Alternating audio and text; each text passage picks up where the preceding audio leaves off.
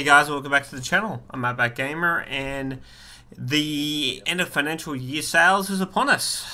With that comes a whole heap of games that we're going to be buying. Well, I know my wallet's been cranked open for this so far. Uh, among the titles I've been picking up is Hired Gun Necromunda I picked up today, thanks to the wifey.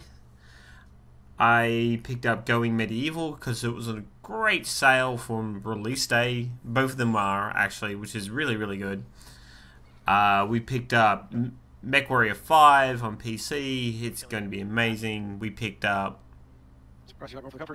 so much stuff. The DLCs for BattleTech. Uh, we picked up Empire Sin and have finished it finally. Um, we'll be talking about that. That is featured in this video.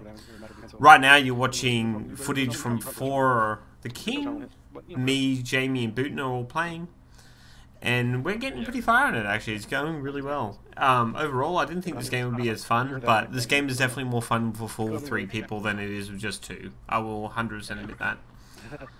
So, uh, we're going to talk slightly right now about Empire Sin since I actually finished it. Now, I'm a big fan of Paradox games. Um, originally, the game started off really fun, fast beat, but the way the building management happens and the way the map management happens made the game so grindy for me. But at the end of it, I was just waiting to finish it by killing off the gangster lords.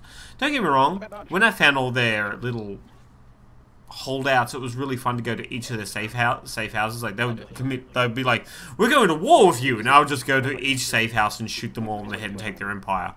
That was a lot of fun. Um, but other than that, yeah, I probably wouldn't recommend it. This was a really fun encounter. oh my god. For those of you watching at home, that was the second staff he's broken. So, also, um, I want to mention that Hell Let Loose is on sale on Humble Bundle as well. Please check out the sales. They're everywhere. They're on Humble Bundle. They're on Steam. You'll find something you want. Like Homeworld, for example, is on sale on Steam. Definitely recommend Homeworld if you haven't played it. I picked up the Deserts Homeworld, which is an expansion. But, uh, so Rick picked up Hell Let Loose, which is why we played a quick match of Hell Let Loose with Rick, and that was a lot of fun. he's like playing for the first time and he's having a lot of fun. It's a good game. Hell Let Loose is just just amazing. One of the best shooters. So there's a few other things we grabbed and played as well. Ah, uh, the, the the amount of sales stuff is on. Like literally, you can pick up Blackguards one and two on Humble Bundle at the moment for like a dollar. Um, they're great RPG games. With the Epic Mega Sale, we managed to pick up RimWorld for around about 30, MechWarrior for around about 30. You could get World War Z Game of the Year edition for like $15 Australian. It's super cheap for and those guns are so so good on the Game of the Year edition. If you didn't see me using them in the last video, they're they're super powerful. So I have definitely opened up my wallet anyway for these sales, and I don't regret it. So this is Nexus, the Jupiter incident. It's still one of my original favorite sci-fis. This and Homeworld really brought me into the genre, and so that's why I'm talking about Homeworld too, because the nostalgia plus the way this game plays, it's very Eve-like. So with this game, you design your ship from the ground up, give it its own guns and things, and you set up fighter wings, boarding troops, you buy and sell things, you set up weapons, but you order your ships to do a certain combat rearguard. So what I'm doing right here is I'm telling my ship to target the weapon systems on the other ship. So instead of just blowing it up or damaging the hull and causing them to... Because like when the ship gets damaged enough too, they'll abandon ship, which is really good. This game is... The realism just makes it really, really, really well. So also I installed um, Arma 3, A A R M A 3 now, from what I understand, this game is a super realistic game. Um, it's got compass points to tell where the enemy are, cutscenes. This is the single player version of it. I'm actually thinking that this could be really fun to play with the boys. We could set up a little squad, go through the, some people's custom campaigns. It could be really, really good. I understand some people play the crap out of this and some people are very realistic. Unfortunately, I don't think I'll ever be that realistic. But... Yeah, I, I see a lot of potential in this game being very enjoyable for a military shooter. so we've got a bit of footage from MechWarrior 5 coming up here as well. As I said, I'm super, super keen for Necromunda Hired Gun. Why I picked it up today, it was 38% off on Humble Bundle.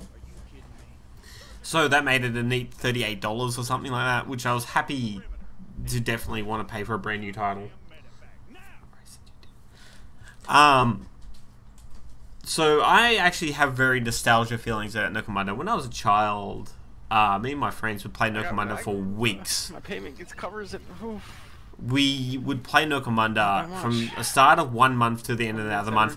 I would go to the point of making my own little newspapers weekly for each match, covering a, a blow by blow for the gangs involved. I'd put ads in them. I would host these giant campaigns for Necromunda, and it was like running like a D&D session for 40k where you had these cool gang battles and the gangsters like the, the gang members when they would die they would take a roll on the table to see whether they would actually die die. Like they would have to roll a snake eyes or a really low result to die die or a really high result I think.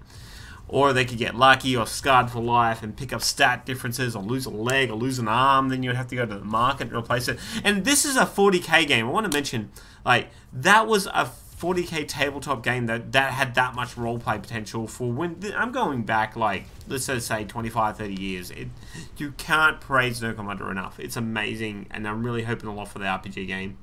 So I haven't actually gotten to play MechWarrior 5 yet myself. This is why I was so keen to pick it up and play it. I also heard that the campaign was co-op. Unfortunately me and Boot and our internet does not like each other. So when it comes to hosting games that we can both play together, it's really, really hard. Um, hopefully one of my Australian friends has it, and I can probably do the co-op with them. Um, what we can do, though, is we can play MechWarrior Online, which is the which is the like arena style MechWarrior game that you can play that they added. This is the arena style one here. You can't go third person like you can in MechWarrior 5. As you tell, the graphics are slightly more grittier, I want to say, like a bit weird. But this actually was really enjoyable. I This was my very first match I jumped into.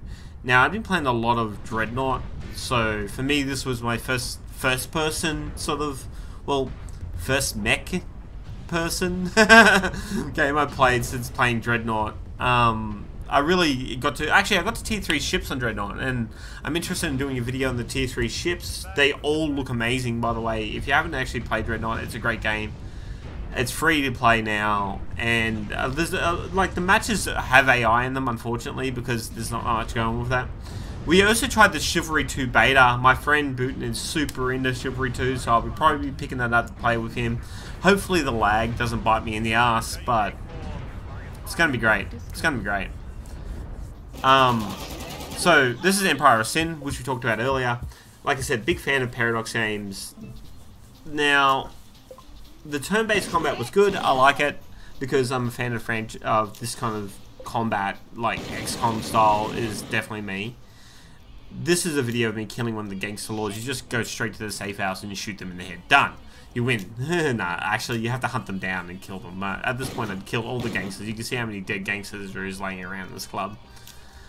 Um, when I actually ended up winning the game, all I had to do was shoot enough gangsters dead, and you win so I didn't even have to finish the main plot line, but because you get attacked randomly and you're spending so much money upgrading, you don't feel you have enough time to go to the black market and buy new weapons and stuff.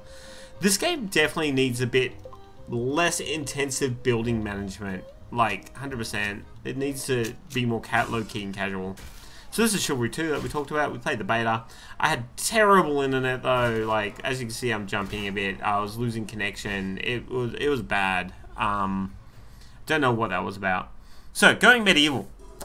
That's what we're looking at here. This is a little gem. Um, I was looking at this in Yakuza Empire, and this dropped, and it was really cheap on drop date. Like, I think I paid like $20, $22, $25 for going medieval. And for a colony simulator game, it had so much involved in it. It's like survival mixed colony sim simulator. Like you actually literally build your buildings up like in the survival game. You design how you want them all to go together. Uh, you you attract new people by having a more prosperous town. and the buildings get flavored based on what you do with them. So I've been building like this is my second playthrough where I actually built separate little um bedrooms and I have a huge storage room just committed to storage there and there's an armory room over to the left up there. There's a kitchen. But in my first playthrough I had this one giant building and it was just littered with everything. Well, hopefully you enjoyed the video. I enjoyed talking to you. It was great. Good to see you all again. Have fun out there.